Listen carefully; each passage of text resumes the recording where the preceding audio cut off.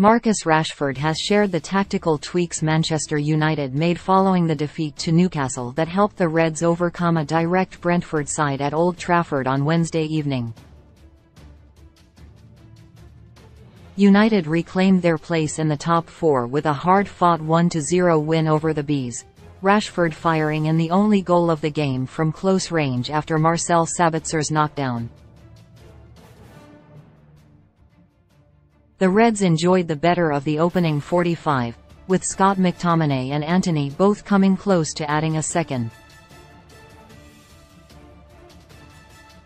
Brentford grew into the game after the break but rarely threatened United's goal, substitute Kevin Schade racing through on goal to see his effort smothered by David De Gea.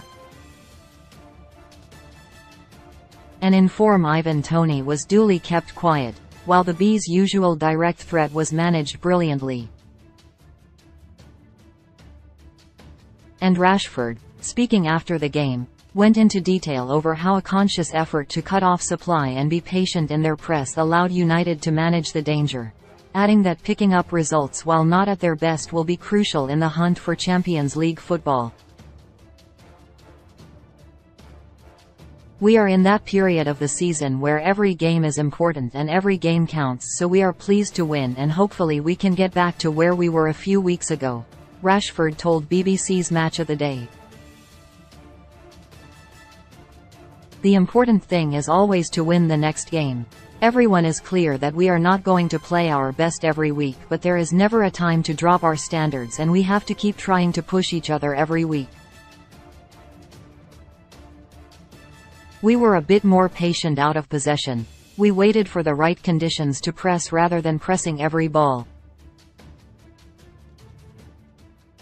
We were calm and kept communicating to try and stop the supplies to their forward men.